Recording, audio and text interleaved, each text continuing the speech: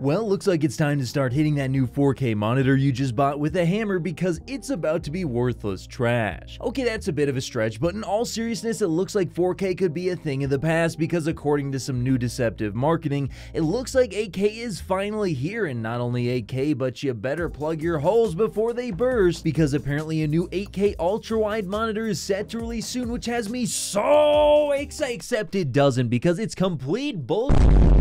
Now, the monitor in question is the next generation Odyssey Neo G9, and on paper, this monitor looks absolutely amazing, and truly, the increase in resolution will be a huge improvement to the display's clarity. But in this video, I'm going to explain why you absolutely should not wait for this overpriced and why it probably won't be as good as you're hoping. But first, let's bend it over and take a long look at those specs. So according to all the info and leaks, we have so far. The next generation Odyssey Neo G9 will likely be a 7680 by 2160 ultra wide mini LED display using a VA panel, which should get up to 240 Hz thanks to its new DisplayPort 2.1 connection. Additionally, I'm sure Samsung will try and market this as a 2000 nit display as well, and I'm sure they'll technically be able to get at least one pixel to do that during a test pattern, but for actual usage, that's gonna be complete bullshit. So yes, the specs look good, but first of all, referring to this as 8K in any way, shape, or form is completely disingenuous and either displays complete incompetence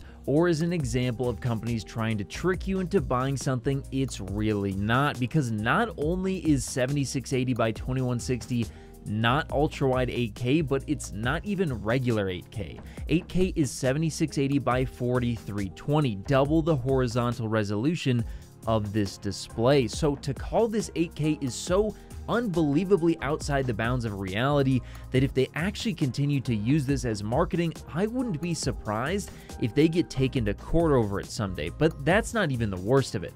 The worst part of Samsung's ultra-wide displays like the Neo G9 has been the horrific scan lines visible at 240 Hz. I can personally attest to just how atrocious these assaults on the eyes truly are when running these displays at 240 Hz, which is a real shame, and hopefully they can finally fix this issue, but year after year it comes back on pretty much all new Odyssey 240 Hz displays Samsung puts out, and when we're talking about 4K and 4K ultra-wide resolutions, these types of issues simply aren't acceptable. Also, that's not even actually the worst part. The real worst part is I can almost guarantee they'll use a hideous heavy matte finish, which will be the cherry on top of absolutely destroying the image clarity. I mean, honestly, if you want to experience what a next generation Neo G9 will look like, just place an LG OLED on a belt sander and smear some vegetable oil all over the screen. Now, you might think I'm kidding, but I'm not. I can pretty much guarantee if you actually did that and placed it next to a Neo G9 monitor,